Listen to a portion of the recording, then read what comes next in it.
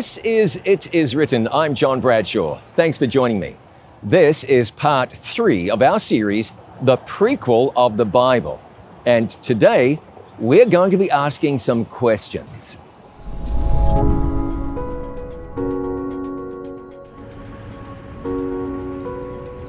Have you ever read the Bible? Yes. Yes. Uh, definitely parts, but not all the way through, which I should, but just haven't. Yes.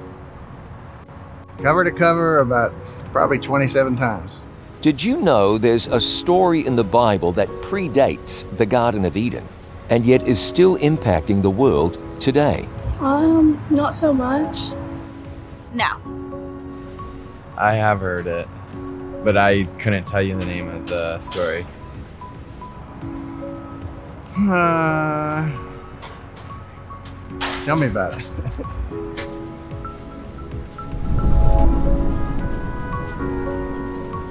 We're looking at this backstory, this prequel that's hidden in the Bible. Once you discover it, once you know it, it'll broaden and deepen your understanding of the entire Word of God. And when I say it's hidden, well, that's because it is. You'll find part of it in Genesis, and you'll find the rest of it scattered throughout the Bible, all the way down to the book of Revelation. And it's written in non linear form. That means it's not written in order. The beginning of the story is found near the middle of the Bible. The middle of the story is found back near the beginning of the Bible. When something is written in a non-linear form, presented in a non-linear form, you want to sit up and take notice because important information is being conveyed. For example, prophecy, such as the book of Revelation, can be in non-linear form.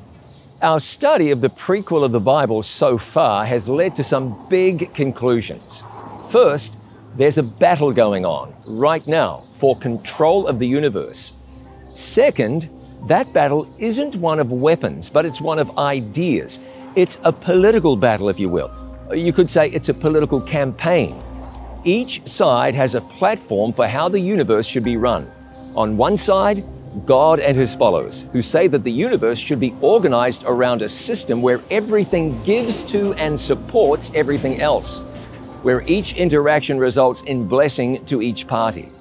It's a system that has loving kindness as its organizing principle. Now, the competing system advanced by the other side, by Satan and his followers, contends that the universe should be organized around a system of taking, a system where strength and aggression rule, a system where interactions produce a winner and a loser. This is a system that has selfishness as its organizing principle. This system was part of Satan's rebellion against God. The two organizing principles reflect the characters of their champions.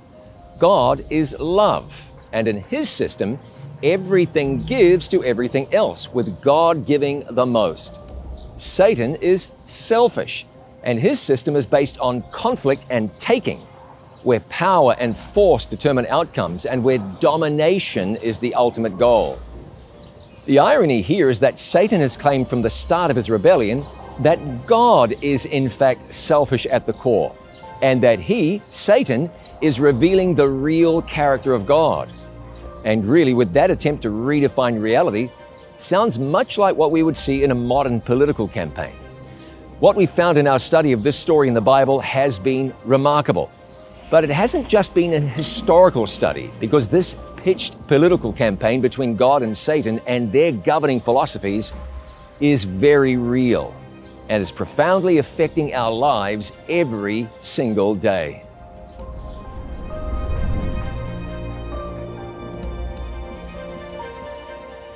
One of the most remarkable things you can learn from this backstory of the Bible is this. This earth, originally created by God in perfection, has been twisted by the devil into a real time demonstration of how his system of selfishness works. Now, we're going to look at some, some decisive battles in this war of ideas between God and Satan, battles that took place early in the life and ministry of Jesus.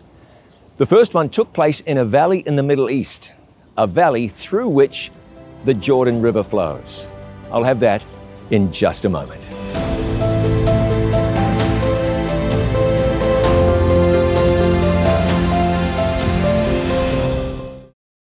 Temptation is a fact of life, but you can be successful in the face of temptation. Be sure you get today's free offer, When the Lion Roars, and find out how you can successfully defeat temptation instead of being defeated by sin. To get your free copy of When the Lion Roars, call us on 800 253 3000. You can write to the address on your screen or visit us online at iiwoffer.com.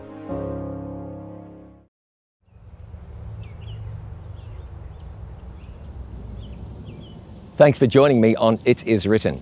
Jesus was baptized by John the Baptist in the River Jordan. When he was, his Father's voice was heard proclaiming from heaven that this was my beloved Son in whom I am well pleased. The Holy Spirit rested upon Jesus in the form of a dove. This was the beginning of Jesus' formal ministry. What happened next was essentially hand to hand combat with Satan.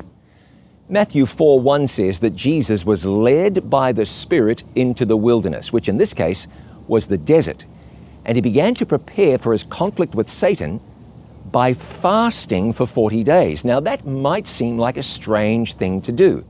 That is, most people would prepare for battle by doing everything they could to increase their strength. Jesus, on the other hand, gave up just about every last ounce of strength that he had. In doing this, he was showing us that power to resist Satan comes from, not within ourselves, but from a relationship with God and from the Word of God.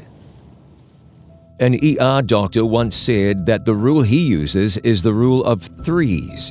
Death comes after three minutes without oxygen, three days without water, or three weeks or up to 30 days without food.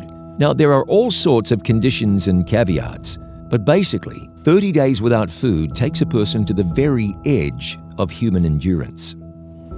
By the time Jesus had fasted for 40 days, he was faint with weakness. His body was shutting down. His energy reserves were depleted.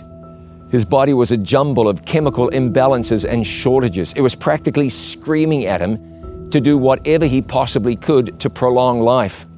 Now, in that condition, it would have taken an enormous effort simply to focus his mind, but it was in that state, on the very edge of death, that he met Satan in decisive battle. The picture is clearly painted for us in the writings of both Matthew and Luke.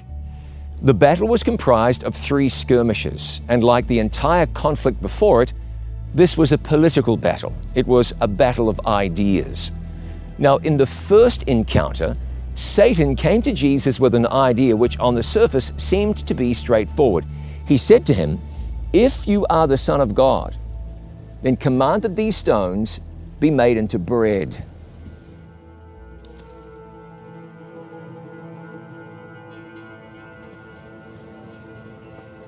So few words, so much going on. There were layers and layers to Satan's challenge. First was doubt.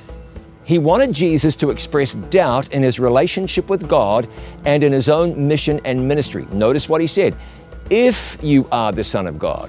He was trying to open up a crack in Jesus' thinking that he could then go and drive a wedge right into. And secondly, he wanted Jesus to perform an act of selfishness as a consequence of that doubt. He wanted Jesus to act in harmony with his system of selfishness. Remember, Satan's original claim was that God was fundamentally selfish. He wanted to be justified in that. He was desperate to prove to the universe that that was so.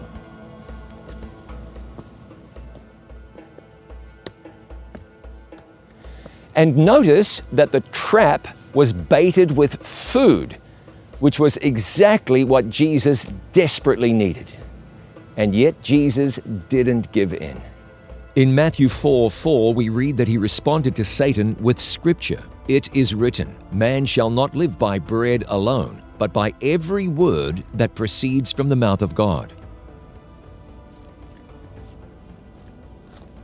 Satan's initial foray failed, and so he became less subtle. Matthew 4 5 says that Satan took Jesus and stood him on the highest point of the temple and said, If you are the Son of God, throw yourself down, for it is written, He shall give His angels charge over you, and in their hands they shall bear you up, lest you dash your foot against a stone. Now, in the second temptation, Satan again tries to play on any shred of doubt that might be in Jesus' mind. Again, he uses that word if. If you are the Son of God, just prove it and everything will be okay. Now, for a dying man, the idea of having God help him in his time of need must have been a very attractive one. It was a layered temptation, very clever. Satan was trying to get Jesus to use selfishness to his advantage. But he failed when Jesus quoted Scripture in response. It is also written, Do not put the Lord your God to the test. Then came the third and most decisive skirmish. There was no subtlety this time. It was a head on attack that went right to the core of the conflict.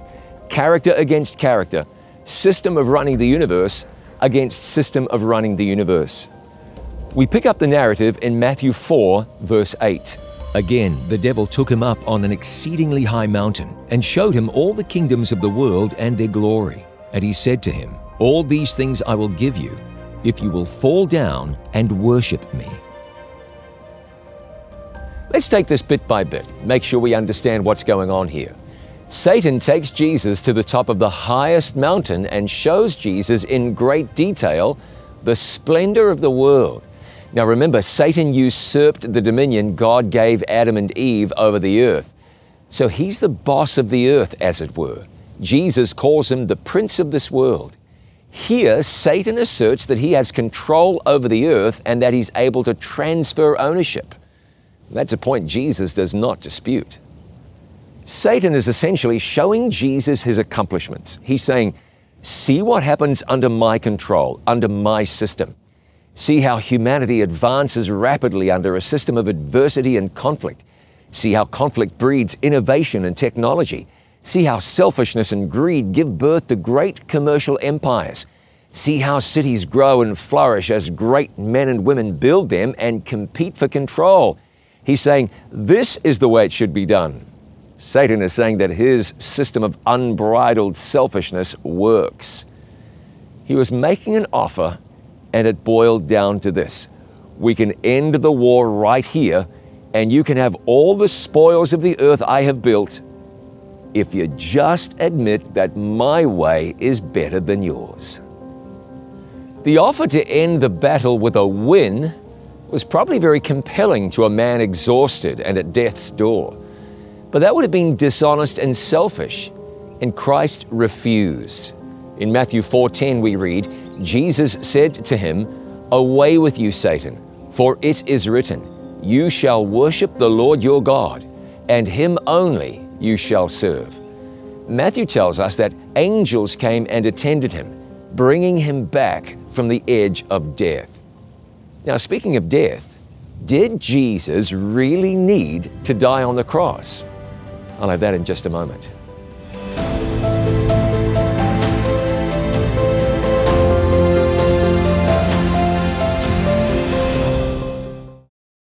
Temptation is a fact of life, but you can be successful in the face of temptation. Be sure you get today's free offer, When the Lion Roars, and find out how you can successfully defeat temptation instead of being defeated by sin. To get your free copy of When the Lion Roars, call us on 800 253 3000. You can write to the address on your screen or visit us online at iiwoffer.com. It's a place of mystery, northwest of Las Vegas in Nevada, an area where people are convinced aliens roam and visits from extraterrestrials frequently occur. Do UFOs visit America? What do the locals say about what happens or doesn't happen in their own backyard? Don't miss Area 51, Part 3 of It Is Written series Conspiracy More Than Just a Theory. You'll visit Area 51 and hear from people who say they've seen the evidence. You'll learn what the Bible says about the conspiracy playing out right before your eyes, a conspiracy of eternal importance, a conspiracy most people are missing. Make sure you know about the greatest conspiracy of them all, a global conspiracy that involves you and those you love. Watch Area 51 from the series Conspiracy More Than Just a Theory on It Is Written TV. Thanks for joining me on It Is Written. When Satan tempted Jesus in the wilderness, he caused Jesus to see the splendor of the kingdoms of the cities of the world. But it wasn't the cities Jesus wanted. Jesus came for the hearts of the people in the cities. He didn't want them suffering in Satan's kingdom. Instead, he wanted them living fulfilled, meaningful lives in his kingdom. Jesus does not want us to be content in rebellion, but instead to call our hearts and our lives out of rebellion.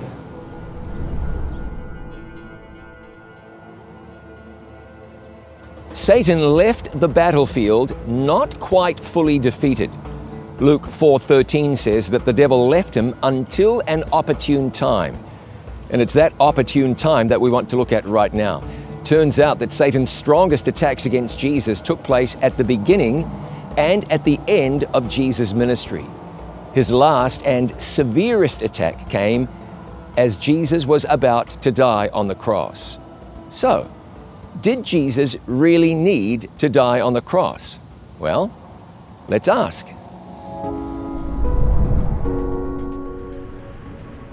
Did Jesus really need to die on the cross? Why or why not? I believe yes, just because he died on the cross for us, and it just shows like how powerful he is, and just like how he's impacted all of us, and we're here today because he died on the cross for us. Yes, because there was sin in the world.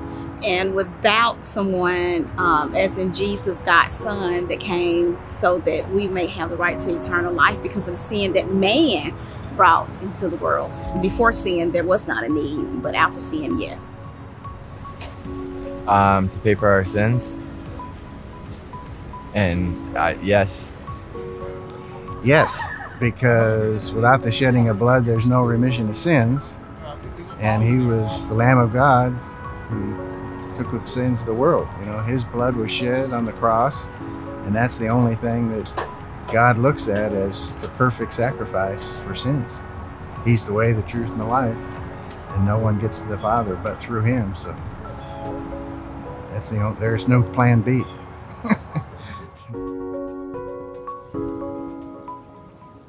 There are a lot of opinions about Jesus on the cross. So let's view the cross in the context of this prequel we are studying. So here is the Christ at the end of his life. Throughout his life, he's preached and lived a message that is simple yet radical that his is a kingdom of love that is profoundly different from the world. He's lived a completely unselfish life. At the same time, he's accumulated some very powerful enemies by telling the religious leaders that they have turned a message of love into a system of domination and profit, that they've taken something that was supposed to reflect God's character and they've made it reflect Satan's character. Accordingly, he called them hypocrites. He called them a brood of vipers, and they hated him.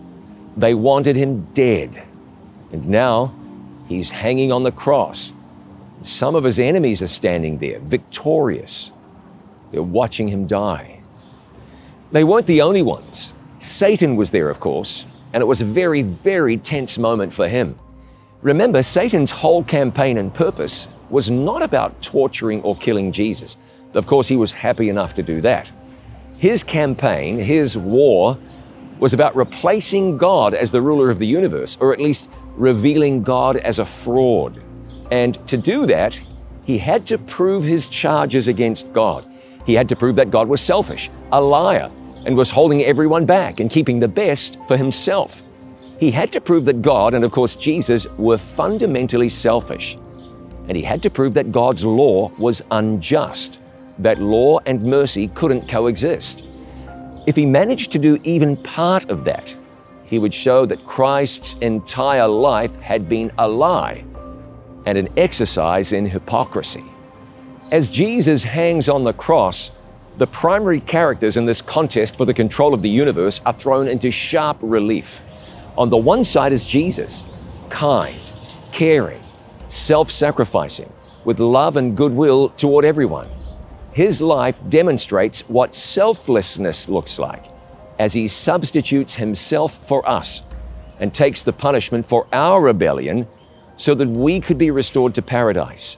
On the other side is Satan, cruel, arrogant, selfish, grasping.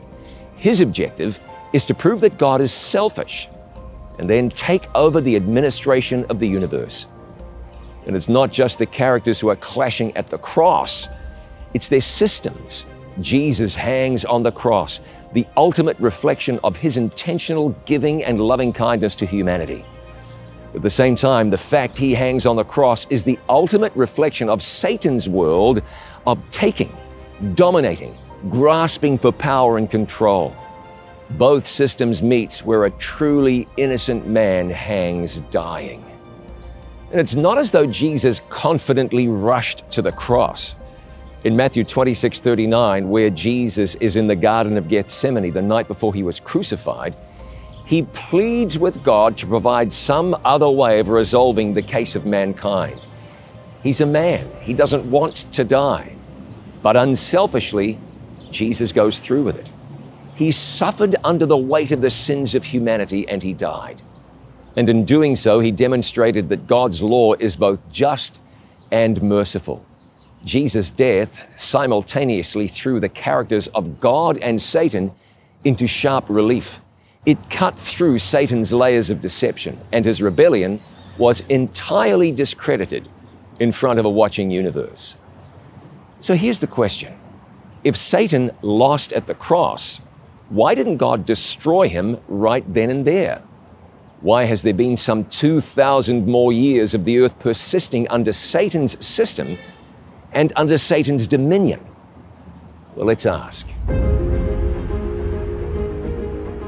If Jesus won victory by dying on the cross, why is there still sin on the earth?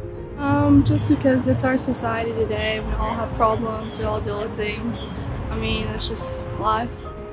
So with sin that and his death, that wasn't the end of it. He's coming back. And for those that are believers and those that are living as he has instructed throughout the Bible, then he's coming to take us home. We were always meant to have eternal life. I don't know. I want to say because of Satan, hell, maybe. I don't know. Why is it? That's a good question. I've honestly never been asked like something like that or thought about something like that. So, what do you know? We're in a spiritual warfare. We live in a fallen world, so sin is rampant. Pick up any paper, listen to any newscast. I mean, it's just everywhere. And we're going to be subjected to a sinful world until Christ returns and changes it. At the cross, most of Satan's charges were swept away. Most, but not all. And that's not good enough for God. If He destroyed Satan then, some of the accusations Satan made would forever hang in the air. There'd always be a small doubt about God and His character. And that small doubt could be enough to build a rebellion on. And another Satan could arise. No, God is seeing this through until the very end, so there'll never again be cause for doubt never again be a rationale for rebellion. And that means once we're done with Satan, we will forever be done with rebellion against God, otherwise known as sin. There's also another aspect. By letting time go on, the effects of Jesus' ministry also go on, and millions more people are able to accept eternal life. You and I are able to accept the gift of eternal life because time has continued through our lives. And so we go on, letting Satan's design for the earth play out and letting the truth be self evident. Of course, Satan is in total political campaign mode, so anything bad that happens, he blames on God. But here's the thing a system designed around selfishness and taking is a really, really bad operating system for the earth and for human society. This is because selfishness, by its very nature, collapses in on itself. The system Satan unleashed has resulted in death, disease, conflict, and suffering. But there's more to come as our physical earth and human society not only continue to decline, but reach a tipping point and go into rapid decline. Satan can't hide that fact, nor can he shift blame for it. And as the effects of his system grow more apparent on earth, Satan knows that he's rapidly running out of time.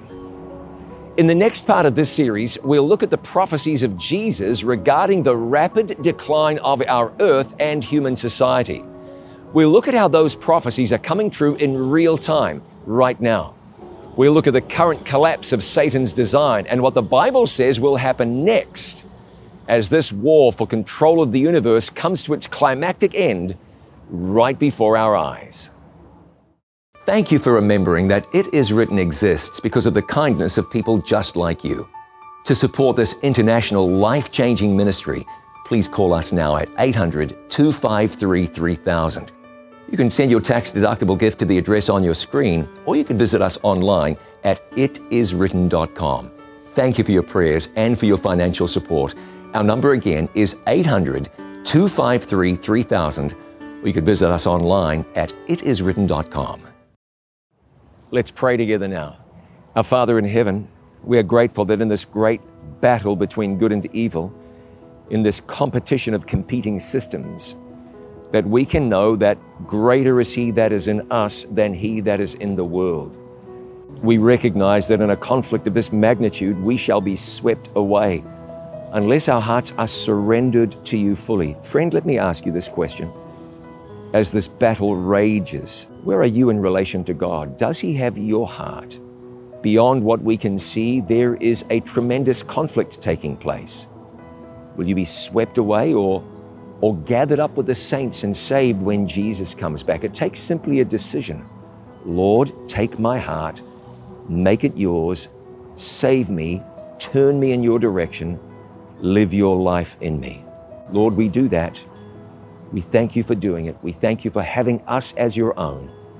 We pray with John, who wrote the book of Revelation and said, Even so, come, Lord Jesus. And we pray in Jesus' name. Amen. Thank you so much for joining me. I'm looking forward to seeing you again next time.